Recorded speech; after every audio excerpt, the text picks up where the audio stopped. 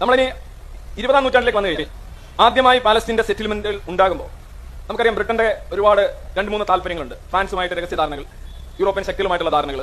അതോടൊപ്പം തന്നെ മക്കയിലെ കാലിഫായിട്ടുള്ള ഹുസൈൻ പുള്ളിയാണ് ശരിക്കും അറബ് ദേശീയത തുടങ്ങി വെക്കുന്നത്. അങ്ങേരുമായിട്ടുള്ള ധാരണകൾ ജൂതന്മാരുമായിട്ടുള്ള ധാരണകൾ. ഒരുപാട് പ്രോമിസുകൾ ഇങ്ങനെ വാരി വിതറുകയായിരുന്നു ബ്രിട്ടൻ. കാരണം ബ്രിട്ടൻ വാസ് ഇൻ വാർ യുദ്ധം ചെയ്യുന്ന ഒരു രാജ്യം വാഗ്ദാനങ്ങൾ വാരി വിതറുക എന്ന് പറയുന്നത് വളരെ സ്വാഭാവികമാണ്. ബ്രിട്ടൻ അത് ചെയ്തു. ഇതെല്ലാം പാലിക്കാൻ വയ്യാതെ വന്ന അവസ്ഥയാണ് ശരിക്കും ഇതിന്റെ ഒരു സങ്കീർണത. പക്ഷേ ആദ്യമായി പാലസ്തീനികൾ ജൂതന്മാരോട് സ്വീകരിച്ച സമീപനം എന്താണെന്നുള്ള ചോദ്യം അതൊരിക്കലും ഇന്നിപ്പോൾ ഇവിടെ പറഞ്ഞ രീതിയിലാണെന്ന് ഞാൻ കരുതുന്നില്ല. കാരണം കാലിബ് ഹുസൈന്റെ മകൻ ഫൈസൽ ഫൈസലും വൈസ്മാനുമായിട്ടുള്ള സിയോണിസ്റ്റ് പ്രസ്ഥാനത്തിന്റെ അന്നത്തെ അഖില അഖില ലോക പ്രസിഡന്റ് ആയിട്ടുള്ള വൈസ്മാനുമായിട്ടുള്ള ഒരു അക്കോഡുണ്ട് ഒരു സന്ധിയുണ്ട്.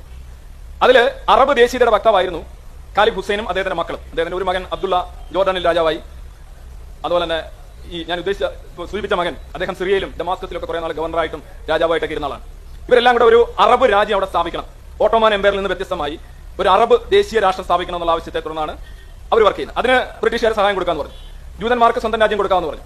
അതോടൊപ്പം തന്നെ ഫ്രാൻസിന്റെയൊക്കെ പറഞ്ഞു ഈ യുദ്ധം കഴിയുമ്പോൾ സിറിയയും ലബനോടും നിങ്ങൾക്ക് തരാം എന്ന് പറഞ്ഞു. അങ്ങനെ ഒരുപാട് അക്കോഡ്സ് വരുന്നുണ്ട്.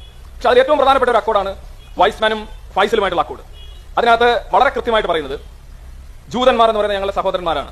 എന്ന് ഫൈസൽ എന്ന് പറയുന്ന അറബ് ദേശീയതര അന്നത്തെ ഏറ്റവും ശക്തനായ വക്താവ് സമ്മതിക്കുന്നുണ്ട്. ജൂതരാജ്യം വരണം. എന്നിട്ട് അതിന് ഏറ്റവും വലിയ രസം എന്ന് പറഞ്ഞു കഴിഞ്ഞാൽ പാലസ്തീനിൽ ബാക്കി വരുന്ന അഡ്രസ് ഇല്ലാത്ത ജൂതന്മാരെ സോറി പാലസ്തീനികളെ.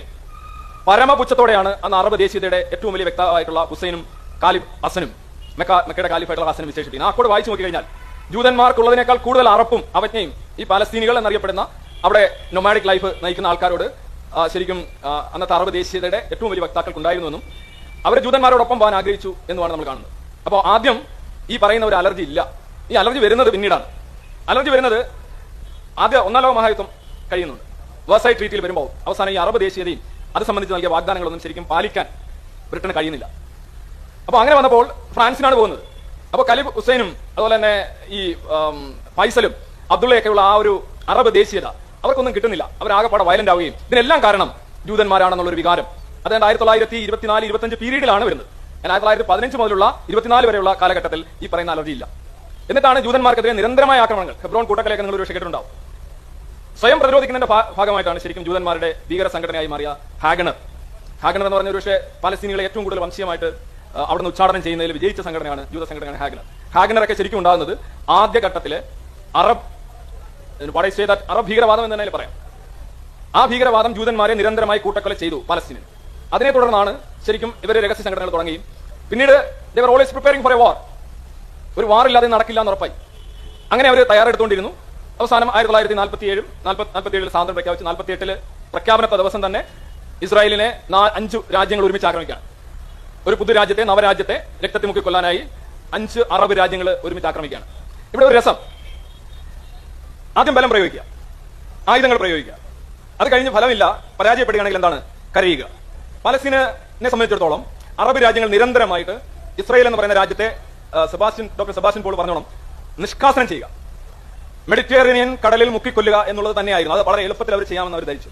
അത് സാധിച്ചില്ല. ആയിരത്തി തൊള്ളായിരത്തി നാൽപ്പത്തെട്ടിലെ യുദ്ധത്തിൽ അഞ്ച് രാജ്യങ്ങൾക്കെതിരെ യുദ്ധം ചെയ്ത് ഇസ്രായേൽ വിജയിച്ചു. ഇസ്രായേൽ വിജയിച്ചു. ആയിരത്തി തൊള്ളായിരത്തി I mean U N accord അനുസരിച്ച് തന്നെ അൻപത്തി ആറ് നാൽപ്പത്തി നാല് എന്നുള്ള രീതിയിലാണ് ഭൂമി വിഭജിച്ചത്. പക്ഷെ അതിനു മുമ്പ് തന്നെ പാലസ്തീന്റെ നല്ലൊരു ഭാഗം വെച്ചുകൊണ്ട് ജോർഡൻ എന്ന് പറഞ്ഞൊരു രാജ്യം ട്രാൻസ് ജോർഡൻ ഉണ്ടാക്കി കഴിഞ്ഞിരുന്നു. അപ്പൊ പാലസ്തീൻ പ്രദേശത്ത് നിന്ന് തന്നെയാണ് ജോർഡൻ ഉണ്ടായതും ലിബിയ ഉണ്ടായതും സിറിയ ഉണ്ടായതും ഇസ്രായേൽ ഉണ്ടായതും ബാക്കി ഇപ്പോൾ വരുന്ന ഈ വെസ്റ്റ് ബാങ്കും ഗാസയും എല്ലാം യഥാർത്ഥത്തിൽ പൊതുവായി പാലസ്തീൻ ഏരിയയിൽ നിന്നുണ്ടായ രാജ്യങ്ങളാണ്. അപ്പൊ ഇസ്രായേൽ എന്നൊരു രാജ്യം ഉണ്ടായിരുന്നു എന്നൊരു ചോദ്യം വരുന്നു. അങ്ങനെയാണ് സിറിയ എന്ന് പറയുന്ന രാജ്യം ഉണ്ടായിരുന്നു. ലബനൻ എന്ന് പറയുന്ന രാജ്യം ഉണ്ടായിരുന്നു. ജോർഡൻ എന്ന് പറയുന്ന രാജ്യം ഉണ്ടായിരുന്നു. ഈ രാജ്യങ്ങളൊക്കെ ഒരു പൊളിറ്റിക്കൽ പ്രോസസ് വഴി മാൻഡേറ്റുകൾ വഴി കമ്മിറ്റ്മെന്റുകൾ വഴിയാണ് ഉണ്ടായിട്ടുള്ളത്. ഇതെല്ലാം ഇരുപതാം നൂറ്റാണ്ടിൽ നടന്ന കാര്യങ്ങളാണ്. പിന്നീട് വരുന്ന ആയിരത്തി തൊള്ളായിരത്തി അറുപത്തി എട്ടിലെ യുദ്ധമാണ്. അറുപത്തെട്ടിലെ യുദ്ധത്തിൽ നാസർ എന്താണ് പറഞ്ഞത്? നാസർ വലിയ അബദ്ധം കാണിച്ചു. ഇസ്രയേലിനെ വീണ്ടും നശിപ്പിക്കാമെന്ന് പറഞ്ഞുകൊണ്ട് നിരന്തരമായി ചുറ്റുമുള്ള അറബ് രാജ്യങ്ങൾ ആക്രമിക്കുകയാണ്. ഈജിപ്ത് പോലെ ഇസ്രയേലിനേക്കാൾ എത്രയോ ഇസ്രയേൽ എന്ന് പറഞ്ഞ ഒരു പക്ഷേ തിരുവനന്തപുരം മുതൽ എറണാകുളം വരെ വരുന്ന ഒരു ഒരു ഏരിയ അത്ര ഉണ്ടാവുള്ളൂ. എൺപത് ലക്ഷം എൺപത്തൊന്ന് ലക്ഷം ആൾക്കാർ ജീവിക്കുന്നുണ്ടാവും. ഈ രാജ്യത്തിനെ പെട്ടെന്ന് അപ്പൊ ഈജിപ്ത് എന്ന് പറഞ്ഞാൽ എത്രയോ രണ്ട് നൂറുകണക്കിന് ഇരട്ടി വലിയ രാജ്യമാണ്. ഇറാഖ് പോലും സൈന്യത്തെ അയച്ചു അവർ വീണ്ടും ശ്രമിച്ചത് സൈനിക പരിഹാരത്തിനാണ്. സൈനിക പരിഹാരത്തിന് പോകുമ്പോൾ പ്രശ്നം നല്ല സൈന്യവും നല്ല ആയുധമുള്ളവർ വിജയിക്കും. അങ്ങനെയാണല്ലോ നമ്മൾ കാണുന്നത്. അപ്പൊ നിങ്ങൾ നിരന്തരമായി ആയിരത്തി തൊള്ളായിരത്തി അറുപത്തെട്ടിലെ യുദ്ധത്തിലാണ് ആദ്യമായിട്ട് സംഭവിക്കുന്നത്. വെസ്റ്റ് ബാങ്കും ഗാസയും ഇസ്രായേൽ പിടിച്ചെടുക്കുന്നത്. ഏറ്റവും രസം വെസ്റ്റ് ബാങ്കും ഗാസയാണ് ഇന്ന് പാലസ്തീന്റെ രാജ്യമായിട്ട് മാറേണ്ടത്. ഈ രണ്ട് സാധനങ്ങളും യഥാർത്ഥത്തിൽ ഗാസ ഈജിപ്തിന്റെ കയ്യിലായിരുന്നു. West bank ജോർഡന്റെ കയ്യിലായിരുന്നു. ആയിരത്തി തൊള്ളായിരത്തി അറുപത്തെട്ടിലെ യുദ്ധത്തിൽ ഇത് രണ്ടും ഇസ്രായേൽ പിടിച്ചെടുക്കുകയാണ്. പിടിച്ചെടുത്തിരുന്നില്ല എങ്കിൽ ഈ പാലസ്തീൻ പ്രശ്നത്തിന്റെ ഒരു സാങ്കത്യം ഒന്ന് ആലോചിച്ച് നോക്കുക. ആയിരത്തി തൊള്ളായിരത്തി അറുപത്തിനാലിലെ പി എൽ ഒ ചാർട്ടർ വായിച്ചു നോക്കിക്കഴിഞ്ഞാൽ അതിനകത്ത് പറയുന്നുണ്ട് മൂന്ന് പ്രദേശങ്ങൾ ഞങ്ങളുടെ രാജ്യത്തിൽ ഉൾപ്പെടുന്നില്ല. ട്രാൻസ് ജോർഡൻ എന്നറിയപ്പെടുന്ന ജോർഡൻ. വെസ്റ്റ് ബാങ്ക് ഇല്ല ഗാസ ഇല്ല ഇത് മൂന്ന് ഞങ്ങളുടെ രാജ്യത്തിൽ പെടുന്നില്ല എന്നാണ് യാസ്ര രാവത്ത് പറഞ്ഞിട്ടുള്ളത്. അവരുടെ ചാർട്ടറിൽ വളരെ വ്യക്തമായിട്ട് അറുപത്തിനാല് എഴുതി വെച്ചിട്ടുണ്ട് പ്രശ്നത്തിന്റെ ഒരു ഒരു ഒരു കലക്കൽ മറിയൽ നോക്കാം. പക്ഷെ അറുപത്തെട്ടിലെ യുദ്ധത്തിൽ വെസ്റ്റ് ബാങ്ക് ജോർഡന്റെ കയ്യിൽ നിന്ന് പിടിച്ചെടുത്തു പാലസ്തീൻ. ഗാസ ഈജിപ്തിന്റെ കയ്യിൽ നിന്ന് പിടിച്ചെടുത്തു. അപ്പോൾ അവർ ചാർട്ടർ റിവൈസ് ചെയ്തു. ഇത് രണ്ടുമാണ് ഞങ്ങളുടെ രാജ്യം. ഒരുപാട് പ്രോസസ്സിംഗ് നടക്കുന്നുണ്ട്.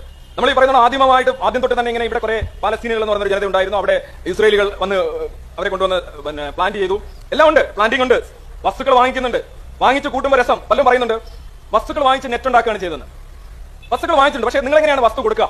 നിങ്ങൾക്ക് ലാഭം കിട്ടുന്നതിലേ കൊടുക്കുള്ളൂ. ഇപ്പൊ ഗ്രാൻഡ് മുഫ്തി ആയിട്ടുള്ള അൽ ഹുസൈനി എന്ന് പറയുന്ന ആളുണ്ട്. ജെറുസലേമിന്റെ ഗ്രാൻഡ് മുഫ്തിയാണ്.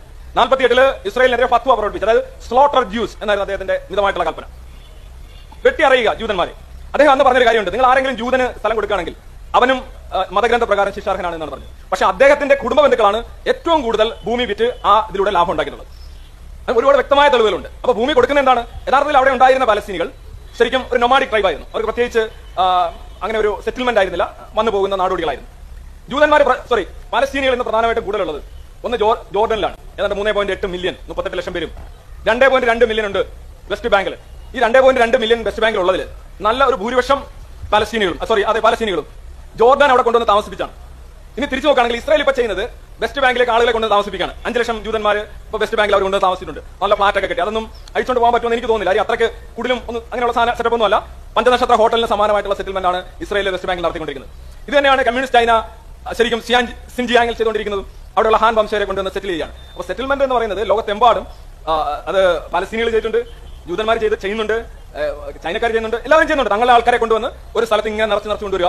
എന്നിട്ട് പൊളിറ്റിക്കൽ ക്ലെയിംസ് കൂടുതലായിട്ട് ഉന്നയിക്കുക. ഈ ഒരു പ്രോസസ്സ് പലസ്തീനിൽ നടക്കുന്നുണ്ട്. ഇസ്രായേൽ ഇപ്പൊ ചെയ്യുന്നുണ്ട്. ഇതിന് അടിസ്ഥാനപരമായ ഒരു പരിഹാരം പറയുകയാണെങ്കിൽ ഇത് ഇവിടെ- പരാമർശിക്കപ്പെടാത്ത പരാമർശിക്കപ്പെടാത്തൊരു വിഷയം. ഇതൊരു മുസ്ലിം പ്രശ്നമാണോ എന്നുള്ളത്. വളരെ സിമ്പിൾ ആണ്. ഇത് മുസ്ലിം പ്രശ്നം തന്നെയാണ്. അല്ലെങ്കിൽ മുസ്ലിം പ്രശ്നം അല്ലാന്നുണ്ടെങ്കിൽ ലോകത്തെമ്പാടും ഇങ്ങനെ അധിനിവേശത്തിന്റെയും കൂട്ടക്കൊലകളുടെയും ഇപ്പൊ ഉദാഹരണമായിട്ട് ഐസിസ് എന്ന് പറയുന്ന ഒരു ഭീകര സംഘടന ഈ തണ്ടൂരി ചിക്കനൊക്കെ ഇങ്ങനെ കൊടുത്തിട്ടേക്കുന്നതാണ്. ഈ തലയൊക്കെ കൊടുത്തിട്ടുണ്ട് ഇറാഖിൽ നടനമാടിക്കൊണ്ടിരിക്കുകയാണ് ഇവിടെ ആരും ഒന്നും മിണ്ടുന്നില്ലല്ലോ. ഇവിടെ സാമ്രാജ്യത്തൊന്നോ അല്ലെങ്കിൽ അങ്ങനെയുള്ള പദങ്ങളൊന്നും ആരും ഉപയോഗിക്കുന്നില്ലല്ലോ. സിറിയയിൽ രണ്ടര ലക്ഷം പേര് കഴിഞ്ഞ രണ്ട് വർഷമായിട്ട് കൊച്ചുകുട്ടികൾ മുപ്പതിനായിരം പേരാണ് കൊല്ലപ്പെട്ടത്. ഇതെല്ലാം മനുഷ്യന്റെ രക്തം തന്നെയാണ്. മനസ്സിലായി? ഇപ്പൊ ശ്രീലങ്കയിൽ ഒരു പ്രശ്നം നടന്നു. നമ്മളിവിടെ എത്ര റാലി നടത്തി? അപ്പൊ ഇത് അടിസ്ഥാനപരമായിട്ട് ഇതിന് മതപരമായിട്ടുള്ള ഒരു ചായുണ്ട് മതപരമായിട്ടുള്ള പ്രശ്നമാണ്. അത് കൊണ്ട് മാത്രം നമുക്ക് മതപരമായിട്ട് എടുക്കാൻ പറ്റില്ല. കാര്യം മുസ്ലിം മരിച്ചാലും ഹിന്ദു മരിച്ചാലും ക്രിസ്ത്യാനി മരിച്ചാലും അതൊരു മനുഷ്യന്റെ പ്രശ്നമായിട്ട് എടുക്കാൻ പറ്റുള്ളൂ. പക്ഷേ ഈ പ്രശ്നം കേരളം പോലെയുള്ള ഒരു സംസ്ഥാനത്ത് അല്ലെങ്കിൽ ഇന്ത്യ പോലെയുള്ള ഒരു രാജ്യത്ത് ഒരു മതപരമായ പ്രശ്നമാക്കി മാറ്റുന്നുണ്ട്. ഉദാഹരണമായിട്ട് ഐസിസിന് സൈനികരെ അയച്ചു കൊടുക്കാവുന്ന മുസ്ലിം പേഴ്സണൽ ബോർഡിലെ ഒരു അലിഗഡ് യൂണിവേഴ്സിറ്റിയിലെ ഒരു വ്യക്തിയാണ്. അദ്ദേഹം ഒരു നക്തിയാണ് അദ്ദേഹം പറഞ്ഞ അഞ്ച് ലക്ഷം പേരെ ഞാൻ ഐസിസുകാർക്കായിട്ട് റിക്രൂട്ട് ചെയ്ത് കൊടുക്കാം. ഈ അഞ്ച് ലക്ഷം പോയിട്ട് അമ്പത് പേരെ പാലസ്തീനിലേക്ക് വിട്ടിരുന്നെങ്കിൽ അത്രയെങ്കിലും പ്രയോജനം ഉണ്ടാകുമായിരുന്നു അവിടെ ആരും ഇല്ല എന്നാ പറയുന്നത്. അപ്പൊ അതൊരു പൊതു സാമ്രാജ്യത്വം എന്ന് പറഞ്ഞാൽ എന്താണ്? ഒരു പൊതുബോധത്തോടെ ലോകബോധത്തോടെ ഒരു ജനത അല്ലെങ്കിൽ ഒരു ശക്തി ഒരു രാജ്യം പെരുമാറുന്നതാണ്. ഇരുപത്തിരണ്ട് അറബ് രാജ്യങ്ങൾ ഒറ്റ ബോധത്തോടു കൂടിയാണ് പെരുമാറുന്നത്. അമേരിക്ക ഒരു സാമ്രാജ്യത്വമാണ്. അവർ അവരുടേതായിട്ടുള്ള പണി ചെയ്യുന്നുണ്ട്. അക്കാര്യത്തിൽ സംശയമില്ല. ഇസ്ലാമും തുല്യ പ്രാധാന്യമുള്ള ഒരു സാമ്രാജ്യത്വമാണ്. അമേരിക്ക ഒക്കെ വരുന്നതിന് മുമ്പ് ഒരുപാട് മുന്നേ അധിനിവേശത്തിന്റെയും വെട്ടിപ്പിടിക്കലുകളുടെയും ചരിത്രമുള്ള ഒരു മതമാണ് ഇസ്ലാം. അപ്പൊ സാമ്രാജ്യത്വം എന്ന് പറയുന്ന സാധനം പൊതുവായിട്ടുള്ള ഫാക്ടറാണ്. ഒരു സൈഡിൽ മാത്രമല്ല. ഇപ്പൊ വീണ്ടും ശ്രമിക്കുന്നത് സാമ്രാജ്യത്വം തന്നെയാണ്. അമേരിക്ക എന്ന് പറയുന്ന സാമ്രാജ്യത്വം ഇസ്രായേലിനെ പിന്തുണയ്ക്കുന്നു. ഇസ്ലാം എന്ന് പറയുന്ന സാമ്രാജ്യത്വം വളരെ ഓൾഡ് ആയിട്ടുള്ള സാമ്രാജ്യത്വം പാലസ്തീനികളെ പിന്തുണയ്ക്കുന്നു. അപ്പൊ സാമ്രാജ്യങ്ങളുടെ ഒരു പോരാട്ടം. ഇത് തന്നെയാണ് ആയിരത്തി തൊള്ളായിരത്തി അറുപത്തെട്ടിൽ നടന്നത്. ഈജിപ്തിൽ പറയാൻ സോവിയറ്റ് യൂണിയൻ ഉണ്ടായിരുന്നു. വെറുതെ അല്ല യുദ്ധം ഉണ്ടായത്? അപ്പൊ സാമ്രാജ്യങ്ങൾ ഇൻവോൾവ് ആണ്. അത് എല്ലാ കാലത്തും അങ്ങനെയുള്ള കേന്ദ്രീകൃത ശക്തികൾ ഇൻവോൾവ് ആയിരിക്കും. പക്ഷേ ഇത് അടിസ്ഥാനപരമായിട്ട് മനസ്സിലാക്കേണ്ടത് ഇസ്രായേൽ എന്ന് പറയുന്ന ഒരു രാജ്യത്തെ എന്താ നമ്മൾ സിമ്പിൾ പറയുന്നത് വെറുതെ അങ്ങ് ഇല്ലാതാക്കി കളയാം. ഇസ്രായേൽ നിലനിൽക്കാൻ യോഗ്യരല്ല എന്നുള്ള ഒരു സമീപനത്തിൽ മുന്നോട്ട് പോകാൻ കഴിയില്ല. ഇസ്രായേൽ ആറ്റം ബോംബുമായിട്ട് ഇത്രയധികം അറബ് രാജ്യങ്ങളുടെ ഇടയിൽ വിമർശപ്പെട്ട് കഴിയുന്ന രീതിയിൽ കഴിയുന്ന രാജ്യമാണ്. അവർക്ക് ഒരു മാനസികാവസ്ഥയുണ്ട്. അവരിപ്പോ കാണിക്കുന്ന ഈ പരിപാടി നമ്മൾ ന്യായീകരിക്കുന്നില്ല. അതൊരിക്കലും ന്യായീകരിക്കാൻ സാധിക്കില്ല. പക്ഷെ ഇസ്രയേലിനെ നശിപ്പിച്ചുകൊണ്ട് നീക്കം ചെയ്തുകൊണ്ട് ഇത് പരിഹരിക്കാമെന്നുള്ള ഒരു മതധാർഷ്ട്യം അത് യാഥാർത്ഥ്യത്തിനോട് പൊരുത്തപ്പെടുന്നതാണെന്ന് എനിക്ക് തോന്നുന്നില്ല. താങ്ക്